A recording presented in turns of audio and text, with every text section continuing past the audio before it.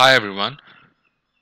I just logged into my test environment and I'm, I'm trying to connect to the storefront URL and it throws this error message. It says cannot complete your request.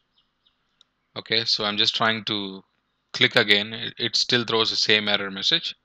Uh, the very first thing what you can do is when you get this error message, you can check the services straight away. Okay.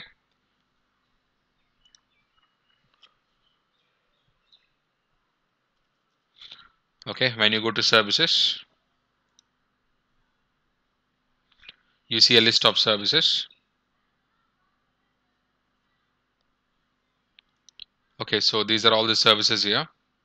If you scroll down, uh, you see Citrix telemetry service, Citrix subscription service, Citrix default domain service, Citrix credential wallet service, Citrix configuration replication service, Citrix peer resolution. Everything seems to be in started state okay everything seems to be in started state so we should not get this error message for some strange reason we are getting this error message.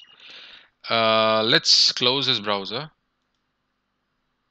Okay let's try to connect once again and see how it goes. Okay we keep getting the same message. Okay here it looks fine. Let me close this. Uh, let me refresh and see how it goes. Okay let me try using a different browser and see how it goes.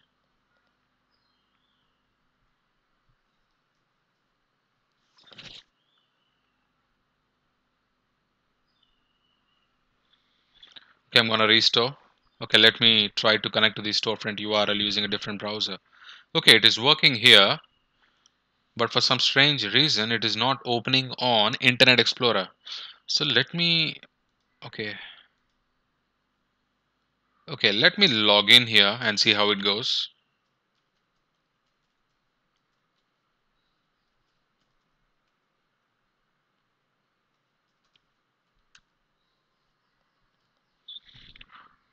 Alright I could see the applications as well. But here if you see on Internet Explorer browser, it still says cannot complete your request. Strange, right? Okay, let me do one thing. Let me try to close it. Let me try to reopen. Okay, it's working now. Let me try to log in.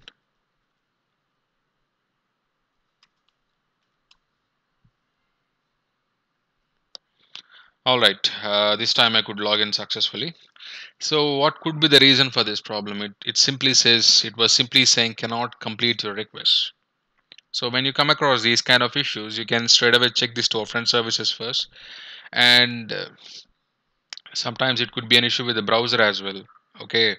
So if you uh, if you come across this issue in Citrix environment, you can simply ask the user to check it on a different browser okay if it is working on a different browser then it means that uh, it is not a server side issue. It is mostly an issue from the end user side. You can tell the user to restart the machine restart the browser and test once again. You can also try uh, asking the user to reset the browser as well. Okay? So these are some things that you can check when you come across this this kind of issue.